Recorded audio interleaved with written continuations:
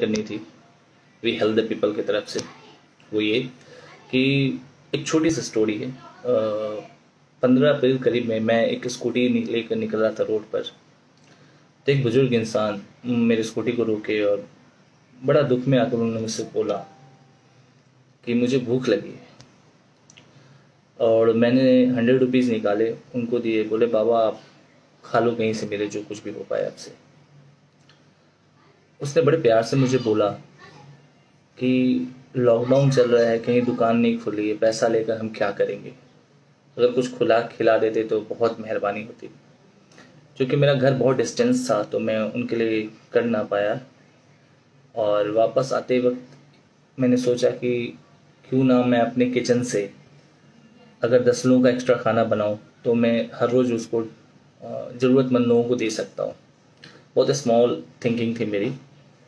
फिर मैं वापस अपने घर आया। नेक्स्ट डे अपने खाने के साथ साथ मैंने दस लोगों का खाना एक्स्ट्रा बनाया और जाते वक्त उन लोगों को पैकेट डिस्ट्रीब्यूट करना चालू किया वहाँ से। उसके बाद जब देखा कि मैं दस लोगों का खाना लेके जा रहा हूँ, वो इनफ नहीं है। कई जगहों पे तीन दिन से खाना नहीं पका है, बच्चे भूखे हैं। जो सरकार आंकड़ा दे रही है, जो मीडिया दे रही है, उनसे कई दूर है सच्चाई रियल फैक्ट्स बिल्कुल नहीं है। और अराउंड अराउंड फॉर मी मैं जहाँ रहता हूँ अराउंड फॉर सिटीज़ पटना। तो मैंने पैकेट्स बनाने चालू किए, अपने फ्रेंड्स अपनी टीम से बात करी। और फिर दस, पंद्रह सौ बीस, पच्चीस, तीस, मैंने पैकेट्स डिलीवर करना चालू किए।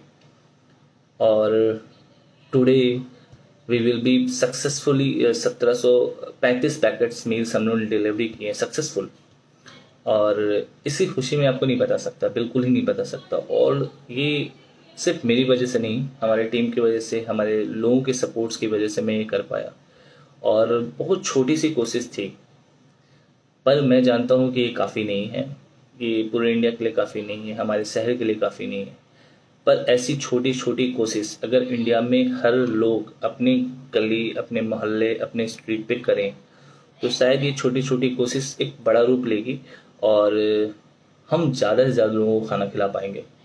क्योंकि हम हर चीज़ के ऊपर, सरकार के ऊपर जिम्मेवारी नहीं थोप सकते, कुछ हमारी भी रिस्पॉन्सिबिलिटी बनती है।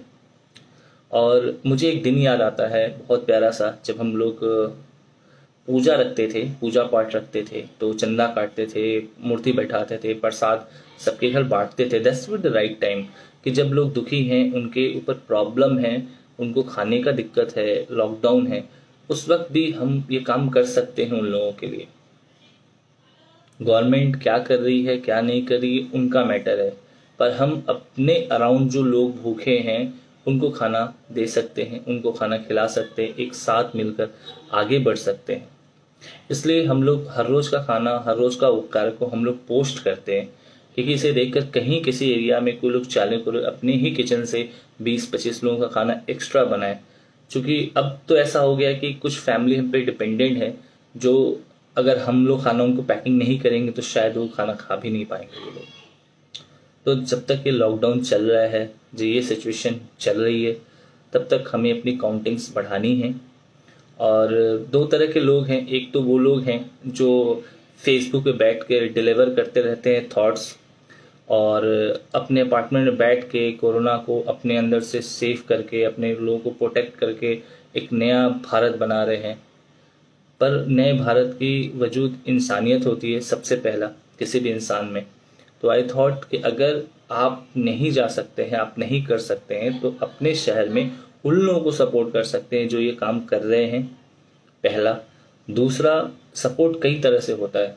सही इंफॉर्मेशन देना, सही लोगों को कॉपरेट करना पीएम फेयर की सीएम फंड सबने, मैंने, मैं एक्चुअली मैं भी कोई बहुत बड़ा इंसान नहीं हूँ, हमारी टीम भी कोई बहुत बड़ी नहीं है। बट हमने भी पिछले लॉकडाउन में बहुत सपोर्ट किया था, पर उसका डायरेक्ट फ़ायदा लोगों तक नहीं पहुँचा। लेकिन आज हम लोग जो भी कर रहे हैं, उसका डायरेक्ट बेनिफिट लोगों तक पहुँच रहा है। और रियली इट्स वंडरफुल थिंग्स और आई खान मैंने नहीं सोचा था कि 15 अप्रैल को लिया हुआ स्टेप्स आज इतना अच्छा हो जाएगा। इट्स रियली टू गुड अगर कोई भी ये सोच रहा है करने को तो आप बिल्कुल भी देरी मत करो। Around for help for each other आप लोगों की मदद करें। और ये सबसे बड़ी बात है और उसके दौरान अपने आप को सेफ़ रखें। तो वी हेल्प द पीपल की तरफ़ से छोटी सी स्टोरी थी जिस जिस वजह से मैंने इसको शुरू किया और मुझे नहीं मालूम हमारी टीम रोज़ सोचती है, रोज़ डेवलप करने की कोशिश करते हैं हम लोग कि हम लोग ज़्यादा से ज़्यादा पैकेट बना पाए, क्योंकि हम लोग जितना ले जा रहे हैं वो इनफ नहीं है और ज़्यादा से ज़्यादा लोगों को खाना खिला पाए। मालूम नहीं है जर्नी कहाँ रुकेगी but I still fighting this time लोगों के लिए लड़ना ज़रूरी है, लोगों के लिए करना ज़रूरी है। ये बात अगर सब समझेंगे तो आई थिंक हम लोग ना निकल सकते हैं, पर समन हेल्प दोज पीपल्स जो ये काम कर रहे हैं, चाहे मैं हूँ, चाहे मेरे से कई सारे लोग हैं, जो ये काम कर रहे हैं, जिनके काम आपको जेनविन लग रही है, उनको आप सपोर्ट कर सकते हैं, ताकि वो अपने काम को और एक्सप्लेन कर सकते हैं। That is part of single reason for humanity इंसानियत के लिए कदम बहुत ज़रूरी है, चूँकि this time very bad for some peoples क्योंकि जिनके पास अभी लॉकडाउन में खाने के लिए नहीं है, उनके काम बंद है तो उनको ज़रूरत है हमारी।